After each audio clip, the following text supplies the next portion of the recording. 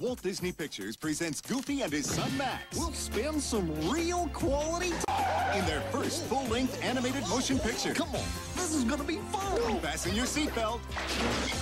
Hold on tight.